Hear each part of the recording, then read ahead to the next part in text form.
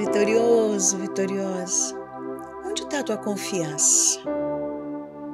Será que a tua confiança está em você mesmo? Está no Senhor? Mas antes, temos uma missão, lembra? Vamos fazer eco. A palavra de Deus, a voz de Deus, me ajuda a alcançar outros corações.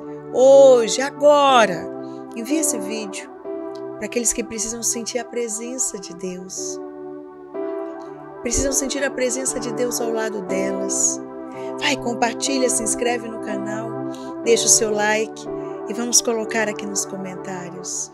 Deus, eu quero sentir a tua presença.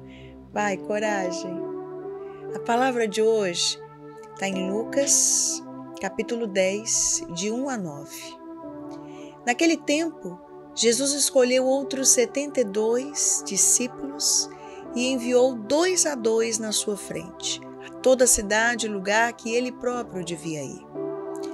E dizia-lhes: A messe é grande, mas poucos os trabalhadores.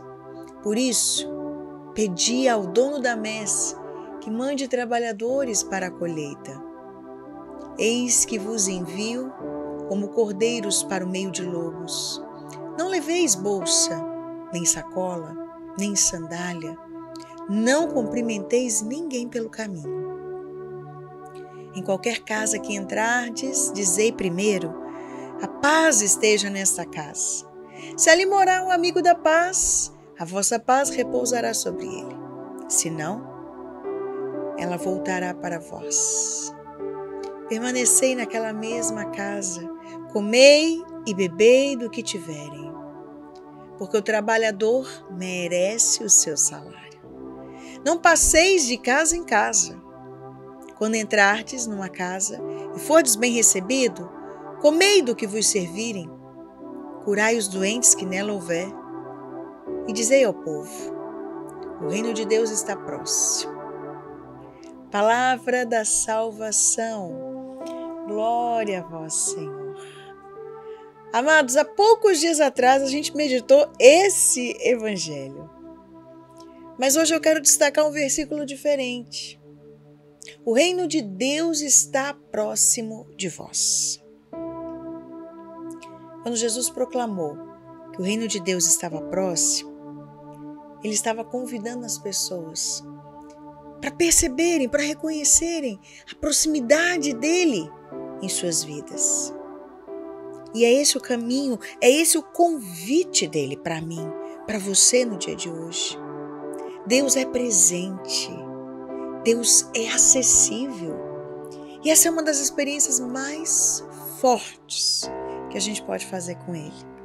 Às vezes, na nossa agitação, nas batalhas da nossa vida, a gente pode se sentir sozinho, a gente pode se sentir desamparado, a gente pode se sentir até mesmo desprotegido a gente corre o risco de duvidar da presença de Deus, de duvidar da presença dele ali conosco nos momentos de dificuldades. Por isso que eu te perguntei no início, aonde é que está tua confiança? Eu me faço às vezes essa pergunta. Ele está ao teu lado? Você vê?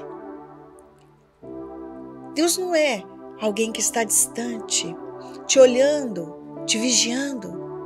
Ele está próximo. E Ele quer você próximo.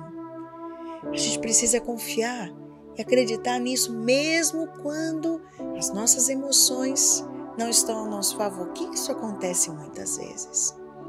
Até porque, meu amado, minha amada, a confiança em Deus, ela se baseia na fé e não nas nossas emoções, não nos nossos sentimentos.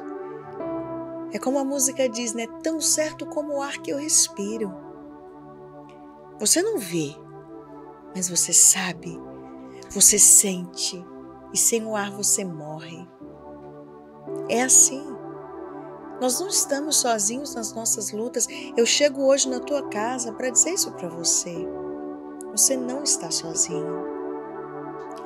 Quando a tua confiança em Deus ela é sólida, a gente é capaz de superar os desafios, a gente é capaz de, de, superar aquilo que parece impossível, de enfrentar as dificuldades sabendo Ele está ao meu lado mesmo quando eu não vejo. É a fé que nos permite perceber essa proximidade dele. Acreditar, Ele está ao nosso lado. Jesus está aqui, tão certo como o ar que eu respiro,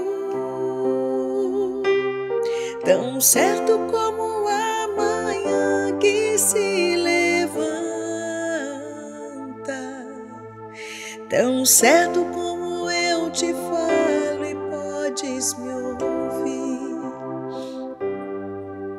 Jesus está aqui, tão certo como o ar que eu respiro, tão certo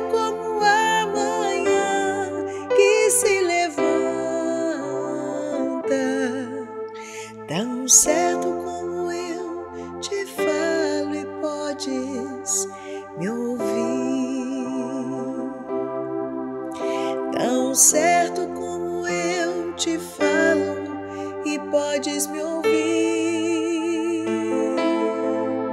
tão certo como eu te falo e podes me ouvir.